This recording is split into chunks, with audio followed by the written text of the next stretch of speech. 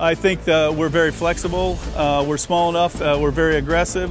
Uh, we've got the people in place. Uh, we've got tooling engineers. We've got quality engineers. We've got everything in place. Our left hand knows what the right hand's doing.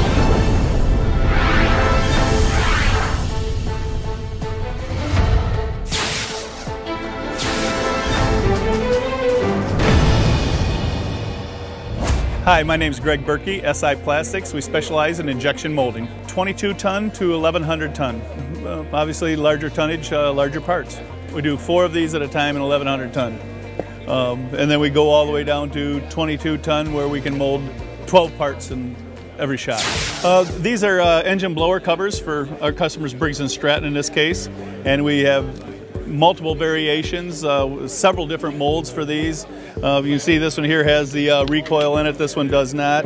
We mold these uh, covers in different colors for uh, Briggs & Stratton sells it to Husqvarna or sells it to another Toro or another lawnmower manufacturer and they want their own colors on them. well here Everybody loves this one. Yes, they're rocks. We mold uh, rocks. This goes into the floral industry. Uh, you can't use them outside because the density is uh, much lighter than water and they will float away. Here's how it comes out of the molding machine. Uh, and then the operator cuts these off. We mold them in different colors. We mold black rocks, gray rocks, and brown rocks. And then you can go down to the other side of the spectrum. We mold like uh, six million of these a week. They go on wire harnesses for the automotive industry. We color code these for uh, identification purposes so they don't get them mixed up because they're very similar, the geometry, and it's easy for the customer to identify by the color. Okay, and here is a, a housing for a motor for uh, power windows. This is more of an engineered resin. It's a polyester with a glass filler in it obviously an automotive application. In this case here, we're overmolding. We put this in the mold and we mold this uh, material on here. Two different uh, insert, we physically put it in the mold and mold the plastic around it. We would uh, source the stamping, bring it in and overmold.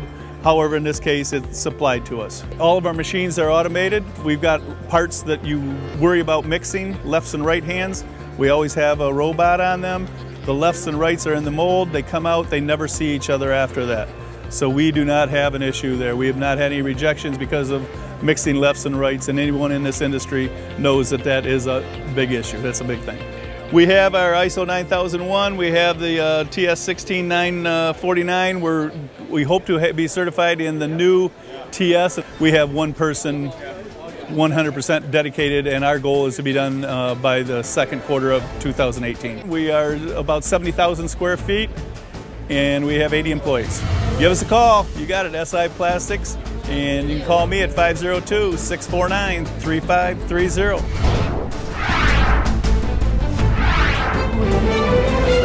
See us and other quality suppliers at d2p.com.